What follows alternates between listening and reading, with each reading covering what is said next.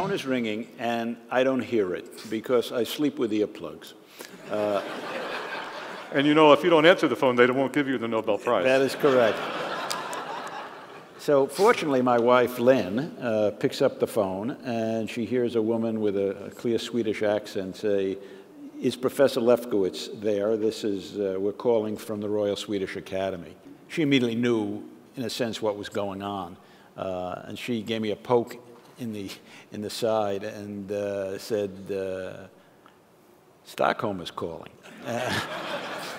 and uh, I took out the earplug uh, from my left ear and was very quickly told that I, I had received the Nobel Prize in chemistry. And my very first question was, am I sharing this with anyone? Uh, and they he doesn't me, like to share, you know. and uh, they immediately told me Brian Kobilka, who, as you said, had been my student, my fellow in the 1980s.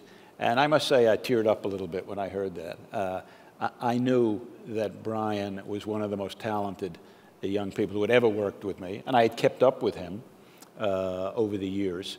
And uh, his work, in quite independent of me, in, in, the previous decade, I would say, uh, had really gone to another level.